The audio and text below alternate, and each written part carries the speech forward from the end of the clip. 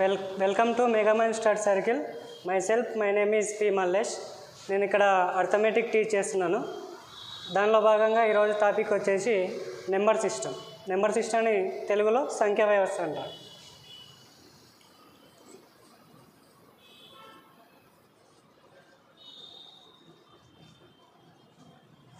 సంఖ్యా వ్యవస్థలో చూసుకున్నట్టయితే మొదటగా హిందూ అరబిక్ మానం ప్రకారం హిందూ అరబిక్ మానం ప్రకారము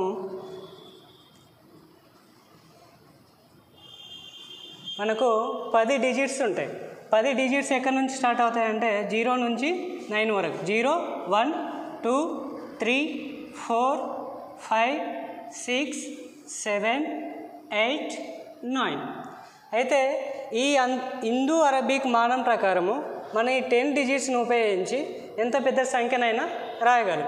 ఇప్పుడు ఎగ్జాంపుల్ తీసుకున్నట్టయితే ఒక నెంబర్ రాద్దాం. Six thousand eight hundred ninety. ఇది ఒక నెంబర్. అంటే ఇప్పుడు వీటిని ఉపయోగించే మనం ఈ నెంబర్ రాయడం జరిగింది. అయితే మనం ఈ విధంగా తీసుకునేటప్పుడు కొన్ని స్థాన విలువలు ముఖ విలువలు అనేవి ఉంటాయి అన్నమాట స్థాన విలువలు. స్థాన విలువలు ఏంటి? ముఖ విలువలు ఏంటి అనేది చూస్తే ఇప్పుడు ఏటి యొక్క స్థాన విలువ కావాలి. స్థాన విలువ అంటే మనం ఒకట్ల స్థానము పదుల స్థానము వందల స్థానం అని ఇలా రాస్తాం. ఇప్పుడు ఏటి యొక్క స్థాన విలువ కావాలంటే ఏటి అనేది ఏ స్థానంలో ఉంది? ఒకట్లు పదులు వందలు. అంటే ఏటి అనేది ఏ స్థానంలో ఉంది? వందల స్థానంలో ఉంది.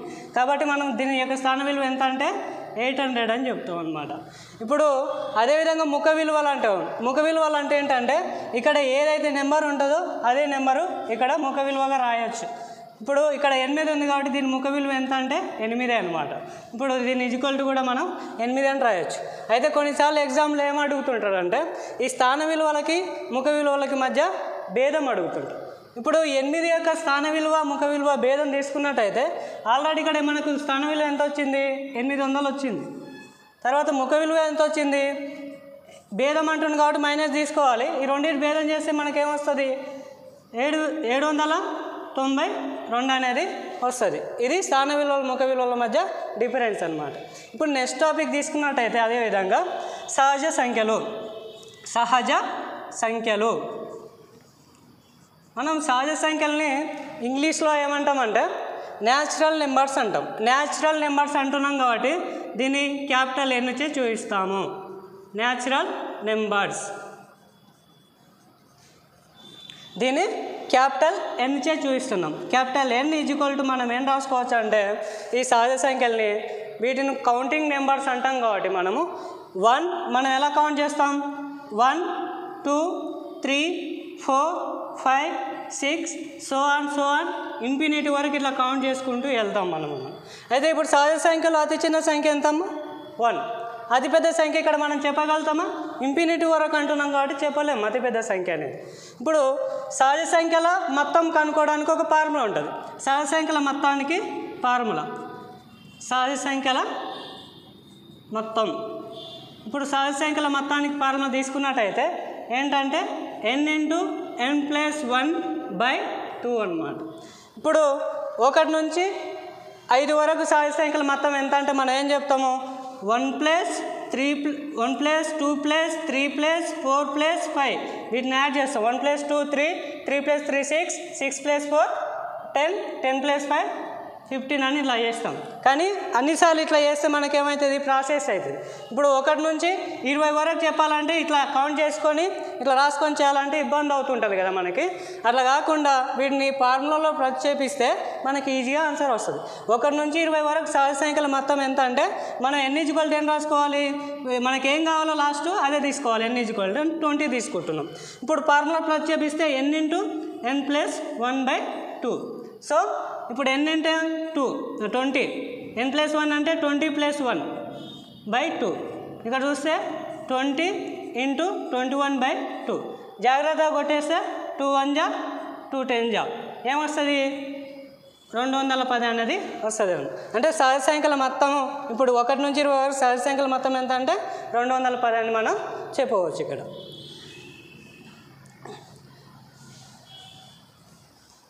ఓకే నెక్స్ట్ వచ్చేసి పూర్ణాంకాలు. పూర్ణాంకాలని మనం క్యాపిటల్ డబ్ల్యూచే చూపిస్తాం. క్యాపిటల్ డబ్ల్యూ అంటే ఓల్డ్ నెంబర్స్ అంటారు ఇంగ్లీష్లో. ఓల్డ్ నెంబర్స్ అంటారు. ఓల్డ్ నెంబర్స్ యాక్చువల్గా ఇక్కడ ఏమవుతుందంటే నేను చెప్పే ప్రతి టాపిక్ రిలవెంట్ ఉంటుంది అనమాట ఇప్పుడు సహజ సంఖ్యలకు పూర్ణాంకాలకు రిలవెంట్ ఉంటుంది. తీసుకున్నట్టయితే ఇప్పుడు మనం సహజ సంఖ్యలు ఏమని చెప్పుకున్నాం? One two three four five six one so on infinity అనుకున్నాం కదా. అయితే నేనేమంటున్నా అంటే ఈ సహజ సంఖ్యలకి సహజ సంఖ్యలకి ముందు జీరోను యాడ్ చేసినట్టయితే జీరోని యాడ్ చేస్తే వచ్చేది ఏంటంటే హోల్ నెంబర్స్ అంటే capital W is equal to zero one two three four five six infinity వరకు ఇలా రాయొచ్చు అనమాట ఇప్పుడు దీనిలో అతి చిన్న అతి చిన్న పూర్ణాంకం ఏదంటే ఏం చెప్పుకోవచ్చు? అతి చిన్న పూర్ణాంకం ఏమని చెప్పుకోవచ్చు? జీరో అని చెప్పుకోవచ్చు. అతిపెద్ద పూర్ణాంకం మనం ఇక్కడ చెప్పడానికి వస్తుందా? కాదు. కాబట్టి దీన్ని ఇన్ఫినిటీగా తీసుకోవచ్చు అనమాట నెక్స్ట్ టాపిక్ వచ్చేసి పూర్ణ సంఖ్యలు. పూర్ణ సంఖ్యలు.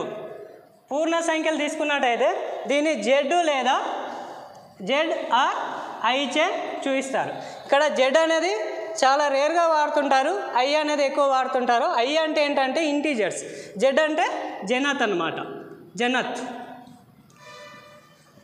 ఐ అనేది ఇంటీజర్స్. సో ఇక్కడ ఏమంటున్నాం అంటే మనం రిలవెంట్ ఉంటుందని చెప్పుకున్నాం కదా. ఇప్పుడు మనకు సహజ సంఖ్యలు తెలుసు. One two three four five six one so on రాసుకున్నాం. అదే మళ్ళీ పూర్ణాంకాలు కూడా అనుకున్నాం. వీటికి ముందు జీరో యాడ్ చేసే పూర్ణాంకాలని. అయితే ఈ సహజ సంఖ్యలకి పూర్ణాంకాలకి మనం ఇక్కడ జీరోకు left side minus one minus two minus three minus four ఇట్లా రాసుకుంటూ పోతే సోన్ సోన్ ఇక్కడ కూడా ఇది ఎండ్ కాదనమాట. అంటే ఇక్కడ జీరోకి రైట్ సైడ్ ఉండే విలువలు అనేవి ఏమవుతున్నాయి జీరో నుంచి క్రమంగా పెరుగుతూ పోతున్నాయి. వీటిని ధనపూర్ణ సంఖ్యలు అంటున్నాం. ధనపూర్ణ సంఖ్యలు అంటున్నాం. జీరోకి లెఫ్ట్ సైడ్ వేలు క్రమంగా ఏమవుతున్నాయి తగ్గుకుంటూ పోతున్నాయి. Minus one minus two minus three minus four minus five. ఇలా క్రమంగా తగ్గుకుంటూ పోతున్నాయి కాబట్టి వీటిని ఏమంటున్నాం అంటే రుణపూర్ణ సంఖ్యలు అంటున్నాం. నెక్స్ట్ టాపిక్ వచ్చేసి అకర్ణీయ సంఖ్యలు.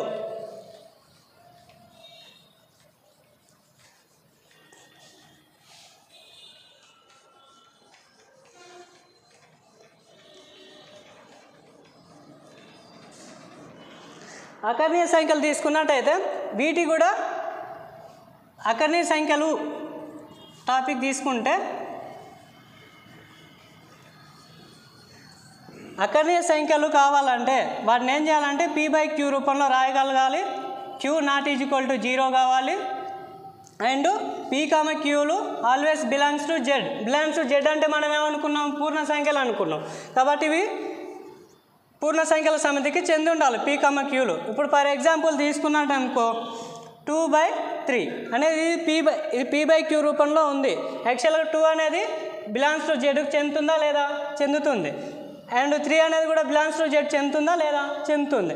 అదేవిధంగా మైనస్ వన్ బై టూ తీసుకోండి. మైనస్ వన్ అనేది ఖచ్చితంగా జెడ్కు చెందుతుందా లేదంటే చెందుతుంది. అదేవిధంగా టూ తీసుకుంటే టూ అనేది కూడా అదేవిధంగా దీనికి చెందుతుందన్నమాట పూర్ణ సంఖ్యలకి. కాబట్టి వీటిని ఏమంటున్నాం అంటే పీ బై క్యూ రూపంలో రాయగలుగుతున్నాం. కానీ ఎప్పుడు కూడా టూ బై జీరో అంటే క్యూ బైలో ఉన్న క్యూకి జీరోను ఎప్పుడు రాయకూడదు. దీన్ని మనం నిర్వచించలేమన్నమాట. టూ బై జీరో అసలు పాసిబిలిటీ కాదు మనకి యాక్చువల్గా ఇది అకర్ణీయ సంఖ్యలకు సంబంధించి. దెన్ ఆఫ్టర్ ప్రైమ్ నెంబర్స్ ప్రధాన సంఖ్యలు.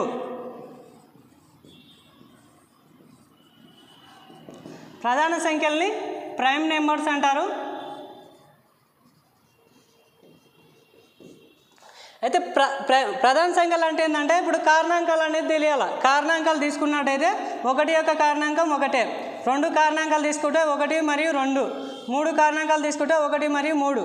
నాలుగు కారణాంకాలు తీసుకుంటే ఒకటి రెండు నాలుగు. ఐదు తీసుకుంటే ఒకటి ఐదు. ఆరు తీసుకుంటే ఒకటి రెండు మూడు ఆరు. ఇట్లా కారణాంకాలు వస్తున్నాయి కదా మనకి. ఈ కారణాంకాలు అనేటివి ఒకటి అనేది తీసుకున్నట్టయితే ప్రతి సంఖ్యకు ఒకటి కారణాంకంగా ఉంది మనకి ఇక్కడ. కాబట్టి ఒకటి అనేది ప్రతి సంఖ్య కారణాంకం అవుతుంది. అయితే ఇక్కడ చూడండి ఇక్కడ రెండుకు రెండు మాత్రమే కారణాంకమైంది. ఇక్కడ మూడుకు మూడు మాత్రమే కారణాంకమైంది. ఐదుకు ఐదు మాత్రమే కారణాంకమైంది. ఎగ్జాక్ట్గా నేను ఏం చెప్తున్నా అంటే ఒక ఒక ప్రధాన సంఖ్య కావాలంటే ఒక సంఖ్య ఒకటి కారణాంకం అవుతూ దానికి అదే ప్రధాన సంఖ్య కావాలి. అంటే ఇప్పుడు రెండుకు రెండే అయింది మూడుకు మూడే అయింది ఐదుకు ఐదే అయింది. ఇక్కడ మనకు అర్థమైపోయింది ప్రధాన సంఖ్యలు అంటే ఏంటో అని. ఇప్పుడు తీసుకున్నట్టయితే ఒకటి నుంచి వంద వరకు ప్రధాన సంఖ్యలు తీసుకున్నట్టయితే మొత్తం ఇరవై ఐదు ఉంటాయి. ఒకటి నుంచి వంద వరకు ప్రధాన సంఖ్యలు ఎన్ని అంటే ఇరవై ఐదు ఉంటాయి. ఈ ఇరవై ఐదు ప్రధాన సంఖ్యలో రాసుకున్నట్టయితే ఒకటి నుంచి పది వరకు ప్రధాన సంఖ్యలు. ఒకటి నుంచి పది వరకు. రెండు మూడు ఐదు ఏడు. పది నుంచి ఇరవై వరకు తీసుకుందాం పదకొండు పదమూడు పదిహేడు పంతొమ్మిది. ఇరవై నుంచి ముప్పై వరకు తీసుకుందాం. ఇరవై మూడు ఇరవై తొమ్మిది. ముప్పై నుంచి నలభై వరకు తీసుకుందాం. ముప్పై ఒకటి ముప్పై ఏడు.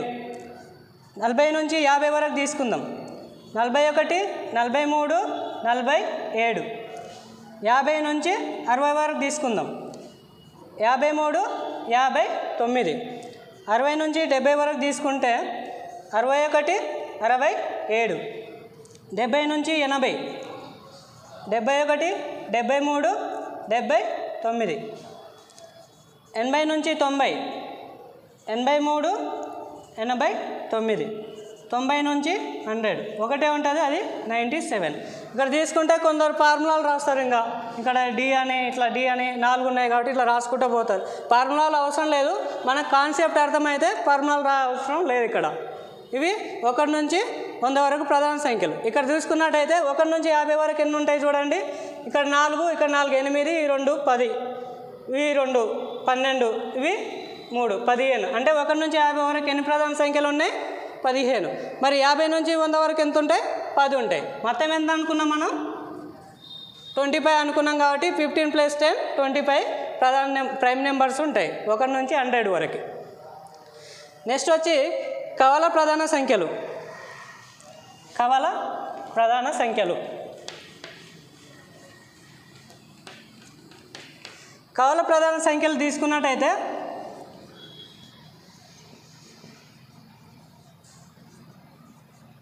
కవల ప్రధాన సంఖ్యలో భేదం ఎంత ఉండాలంటే రెండు ఉండాలి. వాటి మధ్య భేదము రెండు ఉండాలి. అంటే ఇప్పుడు తీసుకోండి ప్రధాన సంఖ్యలు మూడు ఐదు. వీటి మధ్య భేదం ఎంత ఉంది? రెండే ఉంది. ఐదు ఏడు తీసుకోండి. వీటి మధ్య భేదం రెండే ఉంది. పదకొండు పదమూడు తీసుకోండి. వీటి మధ్య భేదం కూడా రెండే ఉంది. పదిహేడు పంతొమ్మిది. వీటి మధ్య భేదం కూడా రెండే ఉంది. అంటే ఇక్కడ ఏంటంటే కవల ప్రధాన సంఖ్యలు కావాలంటే ఆ ప్రధాన సంఖ్యల మధ్య భేదము రెండు ఉండాలి. ఇప్పుడు రెండు మూడు తీసుకోండి. రెండు మూడు అనేవి ప్రధాన సంఖ్యలు. వీటి మధ్య భేదం ఒకటి ఉంది. కాబట్టి ఇది కవల ప్రధాన సంఖ్యలు కావన్నమాట. ఈ పేర్స్ కావు కాబట్టి మనం ఇవి తీసుకోవట్లేదు. ఇప్పుడు వీటి మధ్య పేర్స్ ఓకే అవుతుంది కాబట్టి త్రీ ఫైవ్ మధ్య టూ గ్యాప్ ఉంది కాబట్టి ఇవి ప్రధాన సంఖ్యలు అవుతాయని చెప్తున్నాం అనమాట కవల ప్రధాన సంఖ్యలు అవుతాయి. నెక్స్ట్ టాపిక్ వచ్చేసి పరస్పర ప్రధాన సంఖ్యలు. ఇక్కడే ఎగ్జామ్లో ఎక్కువ శాతం బిట్ అవకాశం ఉన్నవి అంటే పరస్పర ప్రధాన సంఖ్యలు.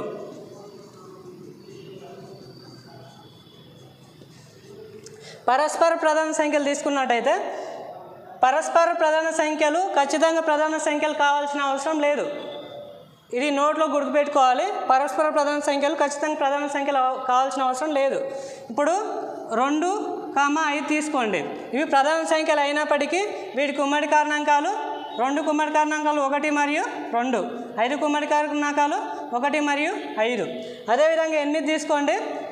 ఒకటి రెండు నాలుగు ఎనిమిది. అంటే ఇవి ఉమ్మడి కారణాంకాలు. కారణాంకాలు చూసినట్టయితే ఉమ్మడి కారణాంకం ఒకటే ఉండాలి. కానీ మనం పేరు కావాలంటే ఐదు కామ ఎనిమిది తీసుకోండి. ఇవి పరస్పర ప్రధాన సంఖ్యలు అవుతాయి. ఎందుకంటే వీటికి మధ్య భేదం. సారీ భేదం కాదు. వీటికి మధ్య ఉమ్మడి కారణాంకం ఒకటి ఉండి ఇంకా ఏ పేర్స్ ఒకే దానిలో రాకూడదు. ఇప్పుడు ఐదులో వచ్చినాయి ఇక్కడ ఏమైనా వచ్చినాయి రాలేదు. ఎనిమిదిలో వచ్చినాయి ఇక్కడ ఏమైనా వచ్చినాయి రాలేదు. కాబట్టి ఉమ్మడి కారణాంకం ఒకటి మాత్రమే ఉంటే వాటిని ఏమంటామంటే పరస్పరం ప్రధాన సంఖ్యలు అంటాం. ఇట్లా ఎన్ని విధంగా పేర్స్ రాయొచ్చు. కానీ ఇక్కడ మనం గమనించాల్సింది ఏంటంటే ఎనిమిది అనేది ప్రధాన సంఖ్య కాదు. కానీ కవల పరస్పర ప్రధాన సంఖ్య అవుతుంది ఈ పేర్స్ ద్వారా. అదొకటి గుర్తుపెట్టుకోవాలి. నెక్స్ట్ వచ్చేసి పర్ఫెక్ట్ నెంబర్ అని ఉంటుంది. పరిపూర్ణ సంఖ్య అంటారు దీన్నే. పరిపూర్ణ సంఖ్య. పరిపూర్ణ సంఖ్య లేదా దీనే శుద్ధ సంఖ్య అని కూడా అంటారు. అయితే దీనేమంటామంటే ఒక సంఖ్య తీసుకున్నాం అనుకోండి ఇప్పుడు ఒక సంఖ్య ఆరు తీసుకున్నాం. దీని కారణాంకాలు మొత్తం ఏం కావాలంటే దీనికి రెట్టింపు కావాలి. ఇప్పుడు దీని కారణాంకాలు రాస్తే ఒకటి రెండు మూడు ఆరు. వీటి కారణాంకాలు మొత్తం అంటున్నాం కాబట్టి one plus two plus three plus six. One plus two three three plus three six six plus six twelve. అంటే ఇప్పుడు ఏమైంది? దీని యొక్క కారణాంకాలు మొత్తం ఏమైంది? రెట్టింపు అయింది అంటే ఇది ఏమంటున్నాం? పరిపూర్ణ సంఖ్య. దీనే శుద్ధ సంఖ్య అంటున్నాం అనమాట ఇంగ్లీష్లో పర్ఫెక్ట్ నెంబర్ అంటారు దీన్ని. దీన్ని చాలా రేర్గా అడుగుతుంటారు క్వశ్చన్లో. అయితే మరి ఒకట్ల స్థానం అంటే ఒకట్లలో ఉన్నప్పుడు ఇది ఒకట్ల స్థానమే కదా? ఒకట్లో ఉన్నప్పుడు పరిపూర్ణ సంఖ్య ఎంత అంటే ఆరు అని చెప్పినాం. మళ్ళీ రెండుల స్థానంలో ఉన్నప్పుడు పరిపూర్ణ సంఖ్య ఎంత అంటే ఇరవై ఎనిమిది. మూడు అంకెల స్థానంలో ఉన్న పరిపూర్ణ సంఖ్య ఎంత అంటే ఫోర్ నైంటీ సిక్స్. నాలుగు అంకెల స్థానంలో ఎయిట్ వన్ టు ఎయిట్. ఇవి పరిపూర్ణ సంఖ్యలు అనమాట థ్యాంక్ యూ. మిగతా టాపిక్స్ తర్వాత చెప్పుకుందాం.